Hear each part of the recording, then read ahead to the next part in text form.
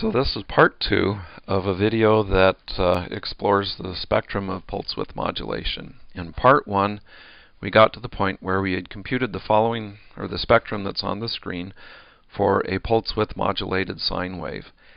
And in this video, we'll talk a little bit about how to um, how to reconstruct our original signal.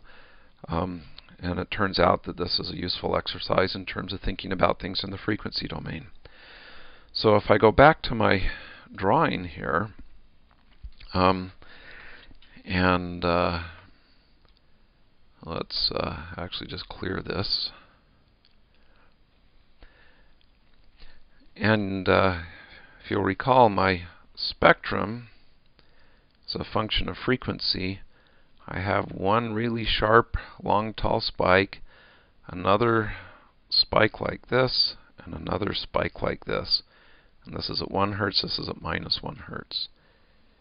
And then out here at 20, I've got some stuff. And then there's more stuff out here. Down here at minus 20, I've got the same sort of thing. Okay, so if I want to reconstruct the original signal, um, it's a sine wave of frequency 1, and you can see that uh, this term and this term in the spectrum are the ones that give me that sine wave. Uh, the middle term is just a large constant offset, so that's actually fairly easy to get rid of once you've uh, gotten rid of all the other stuff out here. I mean, we clearly want to get rid of all this garbage because that's going to interfere with our with our signal. And so one way to reconstruct this would be to apply an ideal low-pass filter. And so the ideal low-pass filter, in this case, we might go from uh, minus 5 to 5. It would have a magnitude of 1. And again, this is the frequency response of the ideal low-pass filter. So anything inside the passband gets uh, un is unchanged because it's multiplied by 1.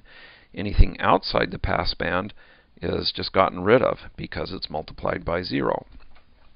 So one way to actually implement this in MATLAB would be to go back and uh, take my Fourier transform of uh, the pulse width modulated signal and just set to zero all of the all of the values in the Fourier transform uh, outside of uh, minus 5 to 5. And so let's do that. To do that, I will use a uh, for loop in MATLAB. If you haven't done any programming, uh, don't worry about it. Basically, what I'm going to do, and in fact I'll plot it as soon as uh, I'm done, is get rid of everything except those three tall spikes in the middle. So that's my goal. We'll see how it works. So we'll go for um, k goes from 1 to 20,001 if the absolute value of f of k is greater than 5, so basically this is any frequency that's larger than 5 hertz, then I will set z sub k equal to 0. Okay, so this basically says if I have a frequency component whose frequency is is uh, smaller than negative 5 or greater than 5, I just set that to 0. I type an end to end the if statement and an end to end the for loop. And there you have it. So now we should be able to plot here we go. We should be able to plot f, or I'm sorry, the transform, and you can see that um, I seem to have gotten rid of everything. Let's see how much is left. Nope, it's still there. I was afraid I'd gotten rid of the uh, frequency components uh, at plus and minus 1, but they're still there. Okay, so what I've done is I've applied a perfect or an ideal low-pass filter.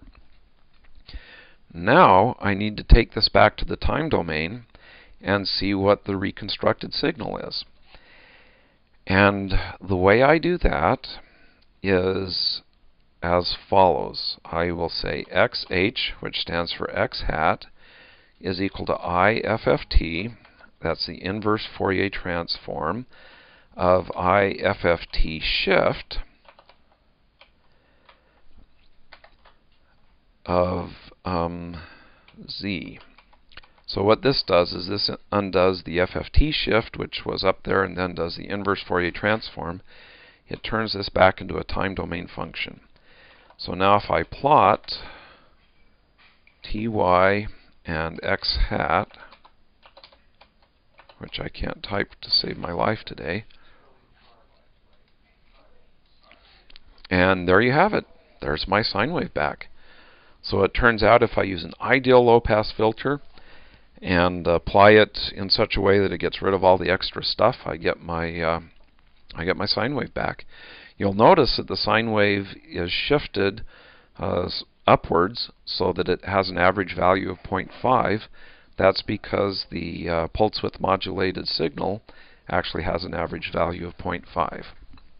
Uh, that offset's typically fairly easy to get rid of. Um, I won't talk about how to do that now, but it's not that hard to do. Okay, so this is, uh, again, what would happen if we had an ideal low-pass filter.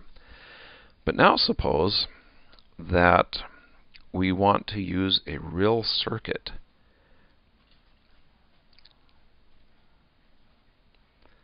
So we have a circuit that looks like this. We have a resistor and a capacitor. And let's suppose that this is the pulse width modulated signal.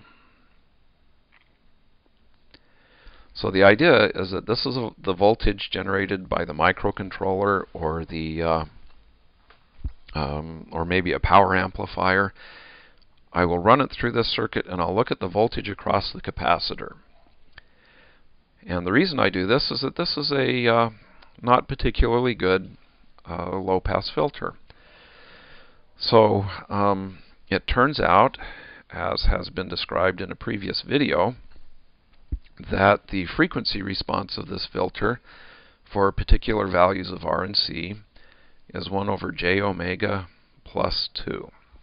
Okay, so let's look at um, what this H looks like. Let's actually first create it in MATLAB and then plot it. So we go back to MATLAB, and we now say uh, h is equal to 1 divided by um, j times 2 times pi times f, that's omega, omega is 2 pi f, plus 2. And now we can plot f and h. Oh, we want to plot the magnitude of h.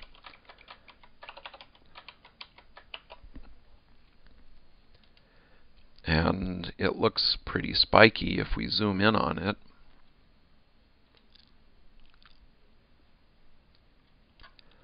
You see it still looks pretty spiky. If we zoom in even more on it, it looks like this. It has a peak at zero, and by Actually, this probably isn't the best frequency or uh, filter to use because uh, it's already pretty small by the time you get out to 1 and it keeps getting smaller.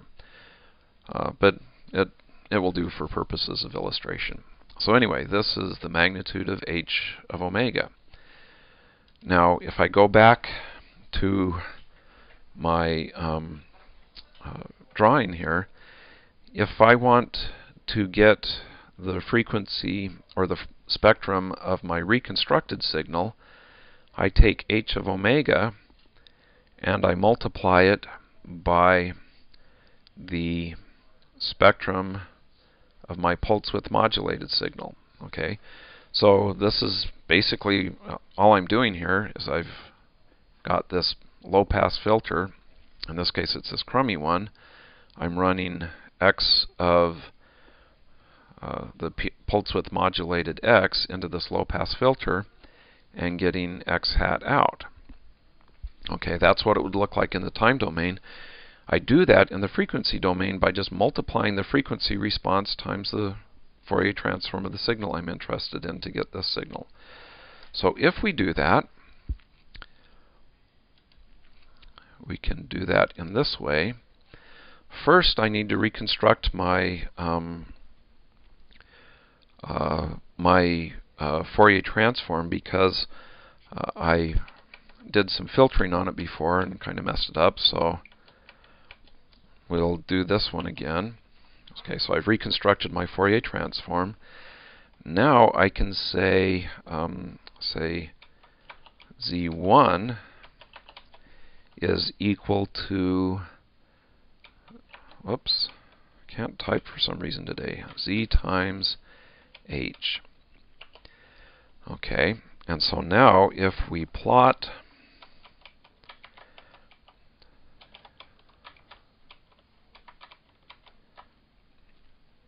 it looks like this. Okay, so this is what the spectrum of the output looks like, and you're thinking to yourself, well, that looks a lot better than it did before. If we zoom into it really closely, you can see that we did okay. We still have some other junk out here.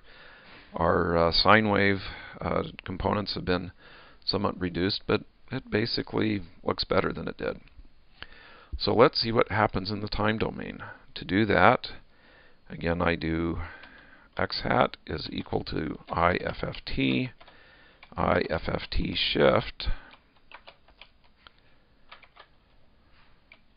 whoops, and then we'll plot x hat again.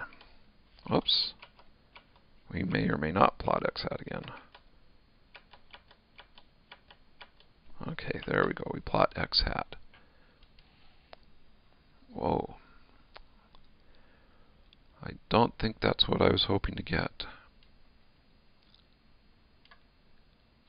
I don't know what I've done wrong here, but it certainly doesn't look like what I was expecting to get. Oh, huh. I uh, just screwed that up.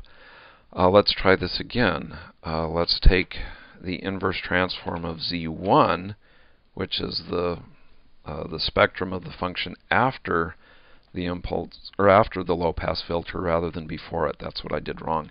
So it turns out that I just reconstructed the original pulse width mod or pulse width modulated signal, which is not what I wanted to do.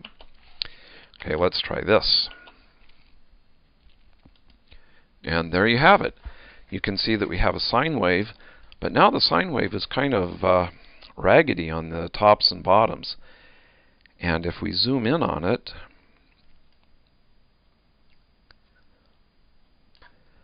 you can see that the sine wave looks like this. And what's happening is the capacitor is charging and discharging. And you can see where a pulse is 1, the capacitor charges. Where the pulse is 0, the capacitor discharges. So using this bad filter, this crummy filter, I get a sine wave out, but it turns out to be a little less clean than it was when I used the ideal filter.